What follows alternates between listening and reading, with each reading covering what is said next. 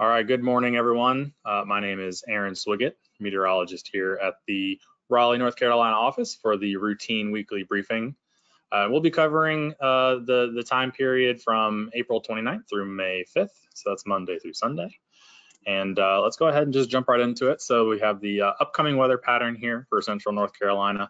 Uh, for the key points here, just wanted to start off by saying we're going to have pretty much an extended period of unseasonably warm temperatures.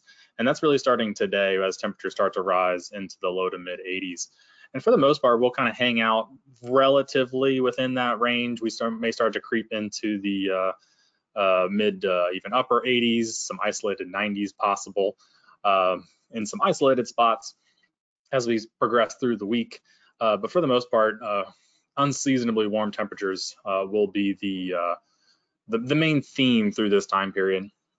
Uh, we will have a little disturbance that'll track over the area uh, Tuesday into Wednesday, and that'll bring some light rain. Um, for the most part, some showers, uh, widely scattered showers into some uh, isolated thunderstorms will be possible with this.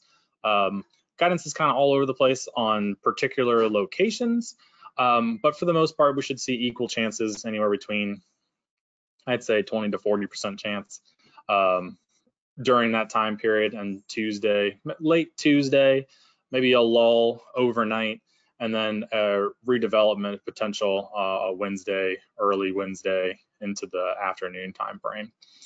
Um, and then we'll have a little bit of a lull again um, late week, uh, but this cold front down here in the bottom left-hand panel uh, that's kind of draped through the uh, Mississippi Valley down into Texas uh, that will be approaching us this weekend uh, in a weakening state as it gets into our area, but may provide some focus for some showers and isolated thunderstorms as well. 30 to 40% chance during that time frame. And unfortunately, that does fall uh, right in the middle of the weekend, unfortunately. Uh, but we'll keep an eye on that and provide some um, greater temporal details as we get a little bit closer there.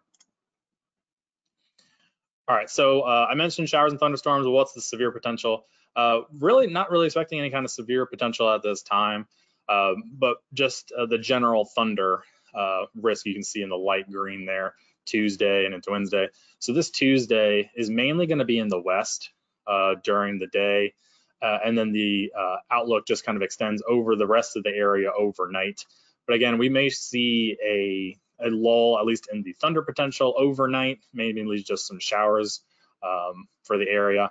And then Wednesday, um, showers early, maybe in the mid to late morning time frame, and then uh, the development of potentially some uh, widely scattered uh, showers and thunderstorms uh, Wednesday. And we're not expecting anything severe at this time.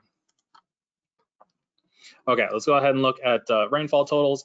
We're starting to get into that time period uh, of the year, of the season, where you kind of have the paintball scattering of um, uh, rainfall total. So you can see some places down across uh, potentially the uh, central Carolinas where on Tuesday here, I'm kind of circling my cursor, hopefully you can see that there, uh, where you have some of the blues, some isolated totals of up to you know one to one and a half inches, while areas around it may see much less. So starting to get into that time frame where you may be hit and miss kind of showers and thunderstorms, uh, typical of a summertime pattern.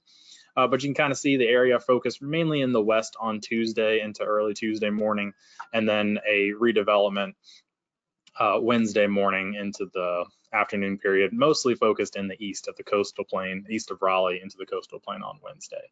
And looking at the rest of these panels, for the most part, um, Tuesday into Wednesday is really the only thing we have to look at through Friday with the um, some chances again on the weekend. So the five day total is that uh, total encompassing of Tuesday and Wednesday there. And mainly for the most part across our area, very light amounts, but some isolated amounts of higher totals, maybe around an inch or so, uh, will be possible down across the Sandhill, Southern Piedmont kind of area where thunderstorm development will be most likely. Okay, given those um, isolated uh, amounts and overall light accumulations, uh, we're not expecting any kind of flash flooding concerns with this round of um, showers and thunderstorms, Tuesday and Wednesday. And then just a reminder, if you missed it uh, on Thursday, this is the, the drought update. Uh, for the most part, uh, not a whole lot changed, maybe just an expansion across the Northeast Piedmont there. Um, uh, the and this this graphic is courtesy of the our friends over at the climate climate office. And uh, I did want to highlight the one thing that I found interesting in here is that they mentioned that for now, uh, the drier weather has actually been positive for uh, farmers as uh, uh, some of their planting is actually ahead of schedule on their five-year average pace. That was kind of interesting to see.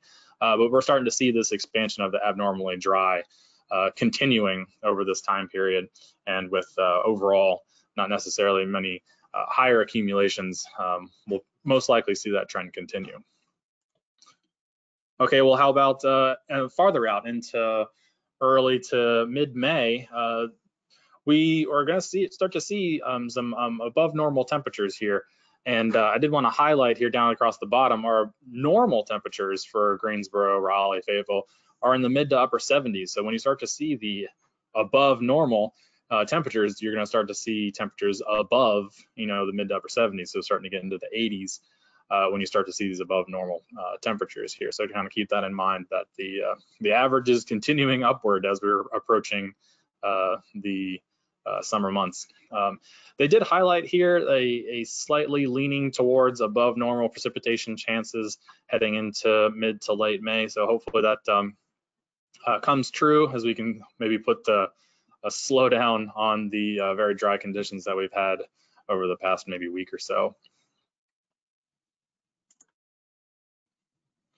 All right, here's our little uh, experimental gra uh, graphical hazardous weather outlook.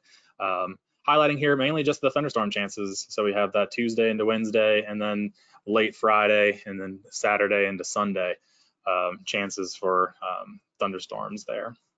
But that's really the only thing we're looking at for the most part.